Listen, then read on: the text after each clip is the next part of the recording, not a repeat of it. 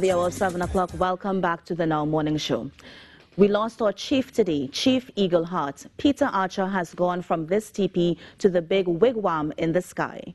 This is the opening to a very touching post shared by Managing Director of Radio Tambrin, George Leacock, on the passing of his friend, veteran masquerader and craftsman, Mr. Peter Archer. And we are checking in with Mr. Leacock this morning. Mr. Leacock, good morning. Thank you so much for joining us on Now.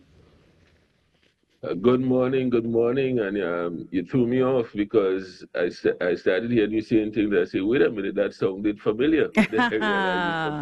you, you, you, thought I was citing you and not quoting who it came from? Yeah. Mr. Lika, right. good morning. A pleasure to have you join us this morning. Um, so uh, I, I, I, read, the reason why I started this segment with that is because I realized that you had a very personal relationship with Mr. Archer, more than many, um, especially in the mas fraternity. And I wanted to know who he was to you, because I like that you mentioned the big wigwam in the sky. You mentioned things like robber speech and that sort of thing. He even helped you when you uh, entered your first pretty Mas competition. And I wanted to get your thoughts on him. Who was he to you? Well, for whatever reason, I've been lucky in my life to be surrounded by a number of passionate people, passionate about everything.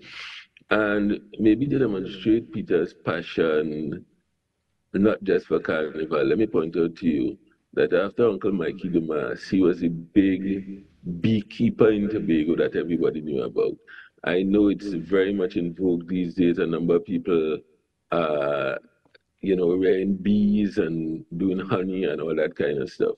But he did it at a time when basically everybody was scared of going around bees because they're gonna get stung.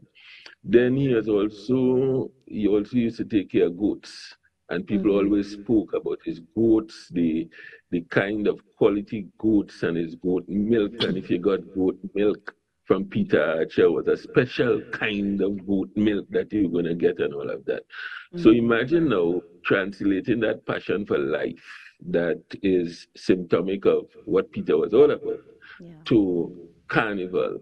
He was best known for playing Indian Mas, but I have recordings from him taken on radio tambrin saying complete robber speeches from other persons. Mm-hmm. Um, think about that for a moment in the absence of radio in those days and television, to hear something or to have it recorded on your phone and hear it over and over, to imagine that somebody else actually at some point in time must have followed around yeah. another uh, person playing robber mas to learn their entire speech. He also, um, let me just um, make a point that the tambrin and speech band are original carnival arts in Tobago, and he would repeat speech band speeches and all of that. So, um, in a sense, he could have played any kind of mas, but the Indian mas was his passion, and passion like everything that he did. He was very good friends with Lionel Jagessar, and when I spoke to Lionel Jagessar Jr. a couple of days ago, because of course we're planning a going home ceremony like no other mm-hmm. for the 26th, next Tuesday, the 26th of noon. Right. Um, Lionel Jagessar Jr. told me that the first time he left his home in Trinidad to travel anywhere was actually to come to Tobago and stay at Peter Archer's home. Mm. And he said when his father died, Lionel Jagessar Sr., Peter called him and prayed with him in a native Indian language that was taught to Peter by Lionel Jagessar's father. Hmm.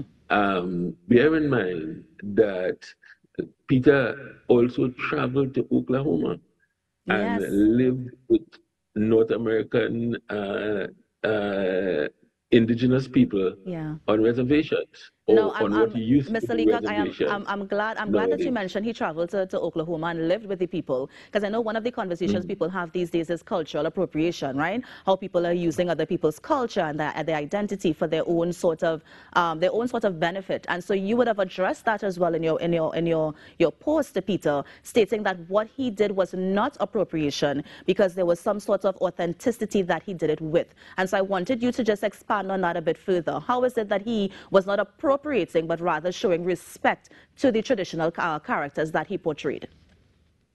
Well, this is a debate that started in Toronto a few years ago, and a number of people have weighed in on it already. And because I was going to do the response, and because I lived in Canada, I went to school with a number of uh, Canadian uh, Indigenous persons, I'm very careful about, um, you know, all of those things. So mm-hmm. I said, let me say that up front. Um, I do not believe that any part of Trinidad and Tobago's carnival could be categorized as what is called cultural appropriation. And simply because in Trinidad and Tobago, we, I think we grew up with people who had this huge sense of history and this huge sense of, of curiosity. Um, you hear uh, of other mas men in Tobago portraying bands that that uh, depicted the lost city of this and lost tribes and that. It has always been a celebration and admiration uh, of those people. In other words, maybe it's a competition element that makes you want to do that. Mm-hmm. If you're going to participate in a competition and so on, and you want to celebrate something in that competition, you are going to look for something that you think is great, right? And what people, um, what what what people did, so what people like Peter did, is that they did their research. And you referred to me playing in the Pretty Mas competition, where I played Rain in the Face. Rain yes. in the Face, uh, people, the young. Um, reggae. I don't remember the name of the songs. When No Rain in the Face was the leader of the Apaches Apache. and all mm-hmm. of that. Mm-hmm.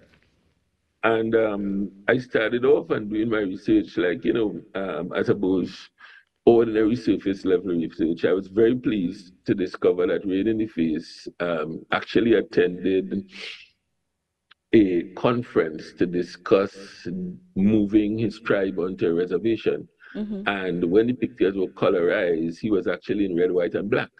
So I like ah. that. Um, and that's why I went with that particular person to, to portray. Yeah. When I called Peter on the telephone and I said, um, Peter, I want to play Rain in the Face, he knew everything about Rain in the Face off the top of his head. No, Mr. Leacock, we, right? we, we have to move. And a half feet tall. yeah. No, Mr. Leacock, we unfortunately have to move quickly along.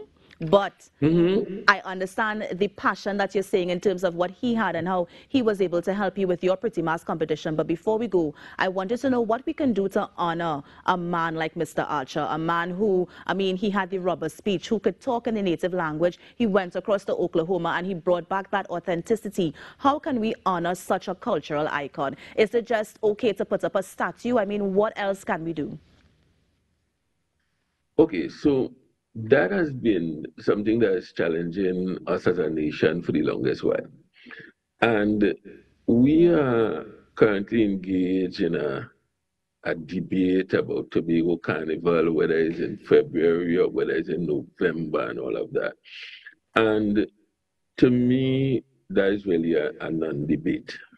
Anybody who suggests that Tobago should not have Carnival in February is somebody who really doesn't understand the history mm-hmm. and doesn't understand even what the objectives of the Tobago House Assembly was in having carnival in um, October.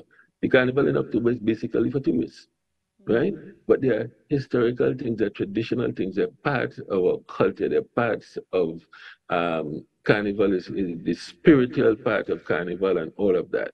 Um, takes place within a certain melee within a certain place at a certain time. And a lot of what I have heard, unfortunately, is day-to-day disrespect of Daroni, day-to-day disrespect of Peter Archer, day-to-day disrespect of Wilton Nancis, day-to-day disrespect of Brady, day-to-day disrespect of of Dalrymple, day-to-day disrespect of Roy Poole. So then, Mr. Leacock, um, how can we, how, so then how can we change the conversation? How can we change the conversation from this disrespect to honor? So I got to go with Justice Lucky. we have to get our cultural icons, their contributions, and the information about them in schools. Mm-hmm. Statues are fine, but statues don't mean anything if they they don't refer to anything that people currently understand.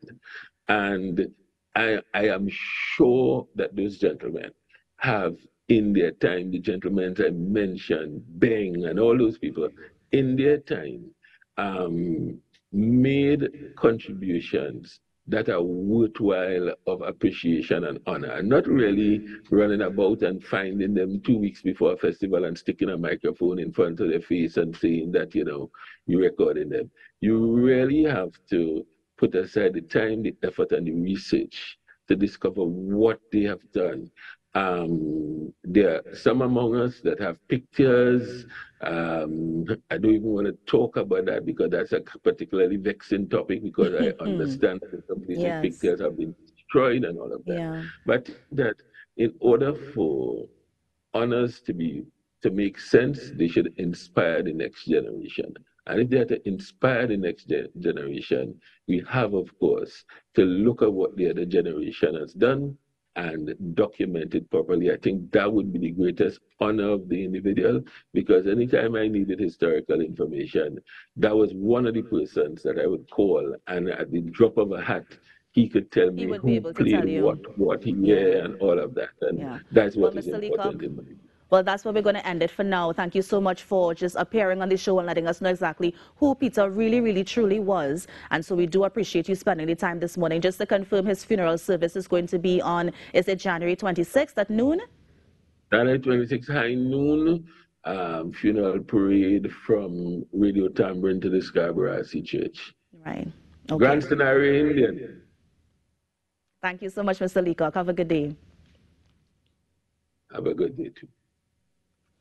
And that was Director of Radio Tambrin, of course, Mr. George Leacock, just sharing some thoughts, some memories, and teaching us how we can honor our cultural icons. And, of course, remembering the great man that he was, Mr. Peter Archer. You're on the Now Morning Show. We're going to take a break and be right back. Stay with us.